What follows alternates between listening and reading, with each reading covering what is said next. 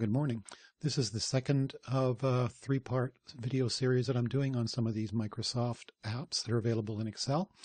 Uh, I already did the People Graph one. It's uh, available on another link. The second one is Bing Maps. Actually, a pretty simple one. It's almost uh, hardly worth having a demo on it, but I always think it's nice to give people an idea what these things can do so you can see them in advance. Like the other tools, they're simply available in the App Store itself. They're listed up here if you wanted to see them. You can go to the store, uh, look at the, the other listed options here.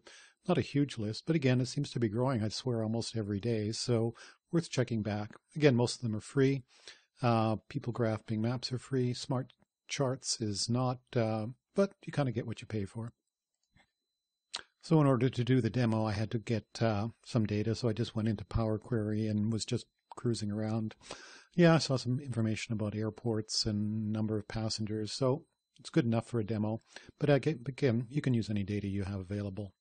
There are some limitations, though, that I think are important to mention on this tool compared to things like Power View or Power Map or any of the other analytical mapping tools. So anyways, here's my sample data of airport traffic. Again, going up to the Insert tab, over to the product itself, Bing Maps. As I say, it app makes it easy to plot locations and visualize your data through Bing Maps. So let's give it a shot. So here we go. Um, this is what the tool looks like. Again, it's just a floating insert. You can uh, position as you wish. It's going to need some sample data. So obviously it doesn't have any yet. So I'm going to just give it some here and have it plot. So without too much fanfare, that's about all there is to it. It's plotted the locations. Um, and the size of the bubbles, of course, correspond to the, the values. There's a few options here, actually, under the uh, tools. Again, some of them, basically, you've only got the two choices, um, you know, satellite imagery or roads. Obviously, in this case, circles is the only thing that works because pie charts is only one column. I'll add another one in a minute. Not a lot to select from here either. But I flipped it on. So again, you can turn things on or off. You can uh, obviously change the uh, location of the data if you wish. Pretty basic stuff. Of course, you have the uh, scrolling features that are standard pretty much in uh, all these mapping products. So if you really want to go down to ground level, um, I've noticed you kind of get into 3D mode once you drop it down into a close level. But again, the tool's the same. Pretty standard if you know how to use Google Earth or Bing Earth or Bing Maps. You won't have any problems.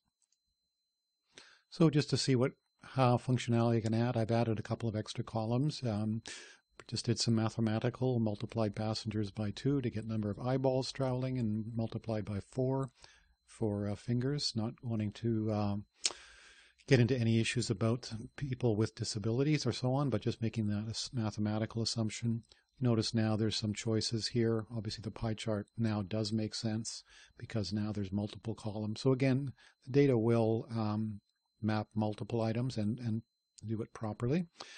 One of the things to note though in this product, which is actually um, something some people might think is very good, others would think very difficult. It actually struck me as very awkward I have lots of data that has um, geospatial plotting, but very commonly the city is in one column, the country or the province is in another, the street address, the lats and longs are all in separate columns. This product will only work with one single column for location. So if you don't have everything in one column, it'll simply start guessing. So Paris, France, I suppose is one place, but there's also Paris, Texas. I don't know whether it's skewed, but I found the data then just starts appearing wherever it feels like mapping it. So if you want precision, you actually need to provide single address columns, which is unusual for a mapping product. But for a very simple one like this, it's probably okay. Just be aware of that. Lots of features available in tools like Power Query or in other manual ways to concatenate data. If you have it in separate columns, you'll need to get it all into one. It doesn't work with lats and longs. It seems to only acknowledge text names from its uh, mapping source. So other than that, there's not a whole lot to say about the product. You can take the uh, map, You could copy it and embed it somewhere else in a Word document. Um, actually, I wonder if I can make a second copy. Apparently I can. Um, I don't think there's much value in that, but it's a simple tool, works easily, um, provides simple maps, can't argue about the price, so give it a try. You might add a little bit of eye candy to your reports, but it's not going to be, uh, if you're into serious mapping, you're going to go with PowerView or with PowerMap. Cheers.